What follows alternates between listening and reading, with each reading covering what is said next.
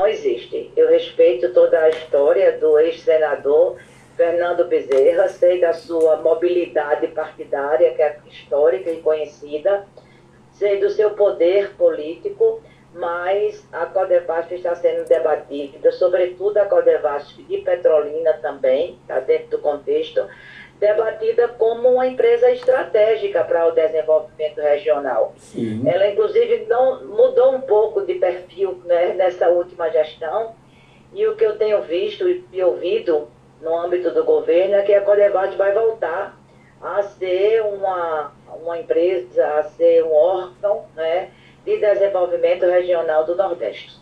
Isso é bom, isso é bom. Fala, Sinara. Bom dia, senadora. Bom dia a todos os ouvintes. Já bom que eu estou chegando. Bom dia, minha amiga.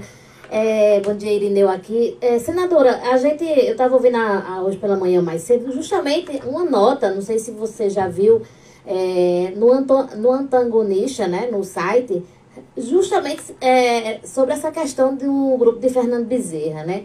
A gente a gente está pela primeira vez, eu e Pernambuco é o único estado em que o Partido dos Trabalhadores conta com dois senadores e muito próximos do presidente. Então, até que ponto essas notas, né, que a gente vê na imprensa procedem, já que a gente sabe da força, né, do Partido dos Trabalhadores de Pernambuco junto ao governo?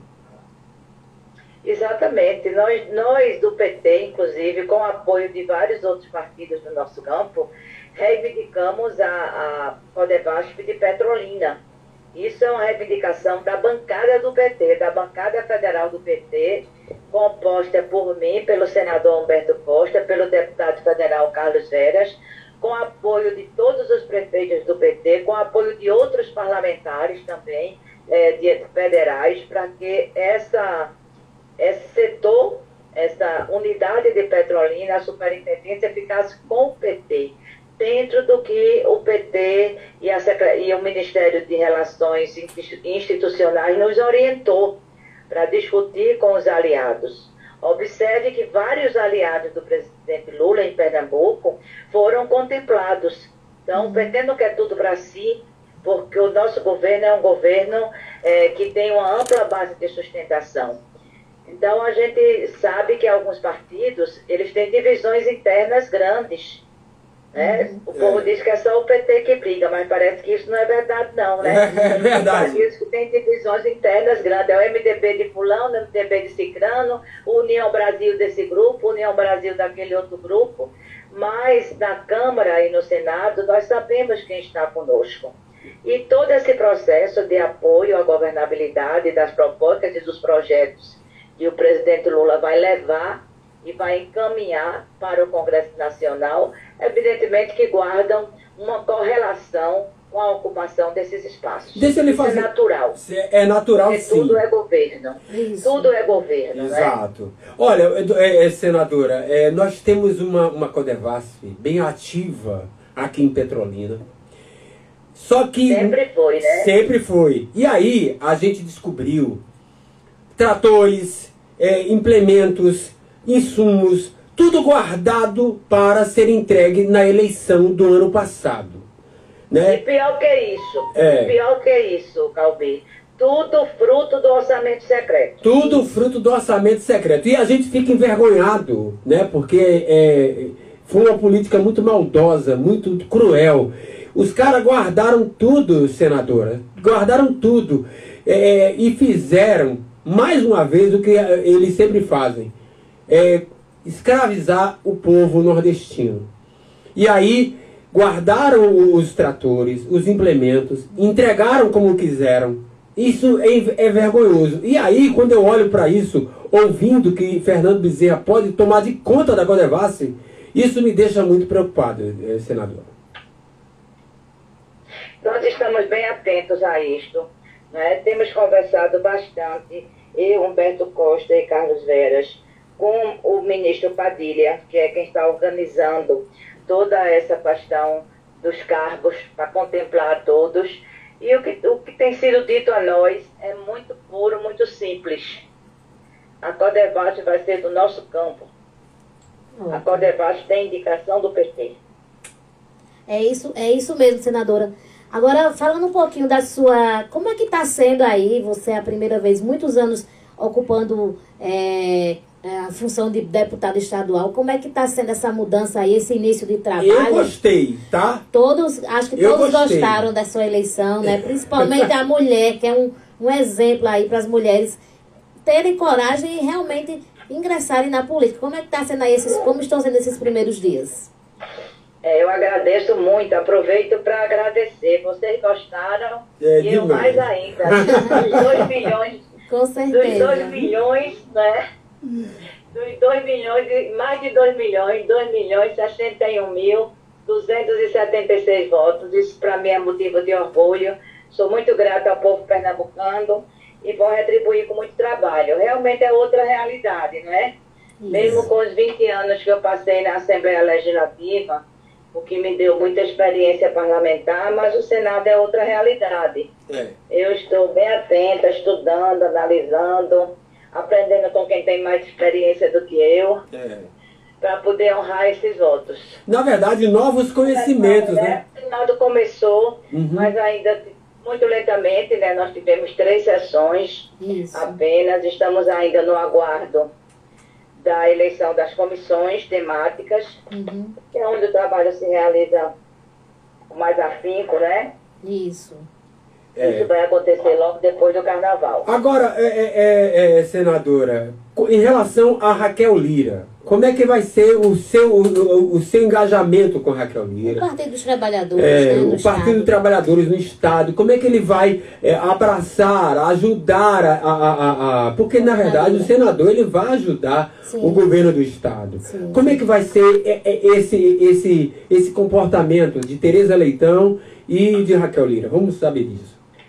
É, ele vai, o senador, ele tem responsabilidade com todo o Estado, porque é um cargo majoritário. Exato. Nós vamos ajudar todas as medidas que forem necessárias para o desenvolvimento de Pernambuco. Recentemente mesmo, Sim. nós tivemos uma audiência com a governadora Raquel Lira, os três senadores de Pernambuco, Humberto, eu e Fernando Doeire, para tratar de projetos estruturadores e, sobretudo, da Transnordestina, cujo desenho inicial Uhum. previa dois ramais, o ramal de Suape e o ramal de Pecém, e que Bolsonaro mudou isso do dia para a noite.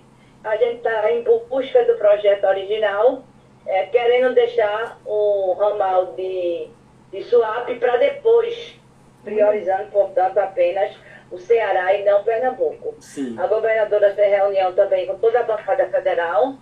Nós vamos cerrar fileiras para garantir o, o ramal de Suape. Inclusive, já pedimos uma reunião com o ministro da Casa Civil, Rui Costa. Humberto já falou com ele, para irmos à bancada e a própria governadora. Do- Então, vai ser um trabalho Hum, um trabalho conjunto. Na Assembleia Legislativa, os deputados do PT tiraram posição de independência. Certo. Foi uma discussão que não envolveu apenas o PT, envolveu também a federação e foi a posição escolhida pelos três deputados do PT. interessante. Interessante demais isso que a senhora está falando. Agora, senadora, a gente sempre teve é, é, é, senadores que andaram em Pernambuco, que conversavam com o povo.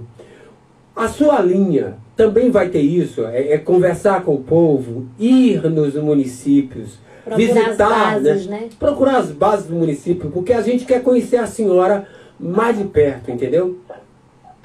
É, essa porque sempre foi durante os meus mandatos. Eu ainda não andei, porque eu estou sem poder andar. É, É, teve um Tive uma queda Uhum. na véspera da, da eleição, fraturei o fêmur, fiz uma cirurgia, Isso. passei 60 dias de licença, sem poder sair de casa.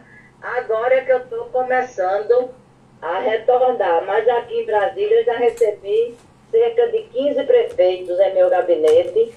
E vai ser o que eu disse na campanha. Eu vou ser uma senadora Sim. municipalista. Eu E- vou viajar. Evidentemente que o trabalho se realiza aqui. É preciso que a população compreenda que a gente não pode ficar longe das tarefas legislativas. Mas tem o final de semana, né? Tem a Exato. sexta, tem o sábado, tem o domingo. para a gente fazer essas conversas. Aí tá certo. Deixa eu falar uma coisa para a senhora. Nós temos um problema muito sério com o povo Yanomami, né? E a gente está vendo aí é, o engajamento do governo federal em mudar essa situação que foi feita aí é, por, por, Bolsonaro, que deixou o povo é, quase morrendo à míngua. Em Pernambuco nós também temos povos é, é, originários, Isso. né? E aí eu queria saber qual é a, a, ideia de Tereza Leitão para esse povo originário que a gente tem Isso. aqui em Salgueiro, a gente tem Cabrobó e Pesqueira. Qual vai ser a ideia é, para, de Tereza Leitão para esse povo?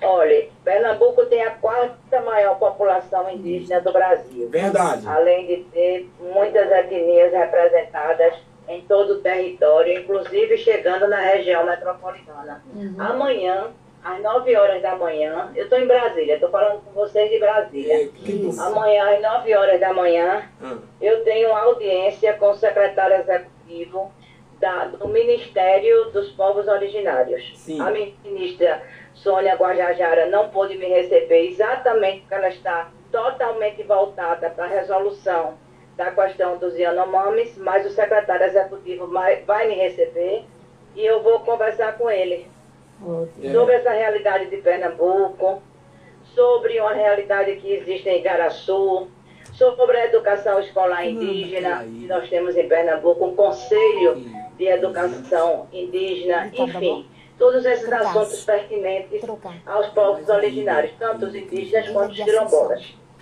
Certo. Ô, ô, ô é, é, senadora, aqui na Ilha Estou da... no meu limite, viu? É, tá no seu limite? É. A gente, a, gente, a gente vai já encerrar. É, só para perguntar, senhora. É, Ilha da Assunção, aqui em Petrolina, em, em, Cabrobó. em Cabrobó, a gente precisa da atenção do governo. Isso, aí, aí fica com a senhora é, fazer esse, esse, essa agenda. Essa ponte aí, né? Vamos fazer o seguinte, eu vou deixar a senhora à vontade, eu sei que a senhora tem que trabalhar. Nosso muito obrigado. E que Deus abençoe a senhora mais e mais. Deixa... E tome cuidado para não cair nesse negócio, viu? Deixa eu lhe perguntar que eu vejo. bengala, não vou cair mais não. É. Senadora. É... é porque eu tenho uma reunião no PT agora às 9 Isso. horas. Certo. Senadora, só para encerrar. Isso, só para encerrar. Muito obrigada pela atenção de vocês. Contem comigo. Certo. Eu vou aí a Petrolina, eu tenho uma reunião com o pessoal da Univasp, com o pessoal do Sintep, Perfeito. do PT. Estarei por aí, procuro vocês sem falta. Senador, antes de encerrar, ontem eu ouvi no, no programa do, do Senado que você está propondo um projeto de lei e a gente está no, no, no, período da, do retorno do carnaval, de tornar o carnaval do Recife é um patrimônio nacional, cultural, né, da, do país. Que bom, né, carnaval né, porque... Isso, carnaval de Pernambuco. Que bom, porque é um reconhecimento importante do Estado que tem essa cultura muito forte, né, na, nesse momento Exatamente. aí da folia dois anos sem carnaval, muita gente foi prejudicada, muitos trabalhadores da cultura, fazedores da cultura, Isso. toda a cadeia produtiva, de quem faz adereço até os cantores, os artistas. É uma maneira também de reconhecer isso.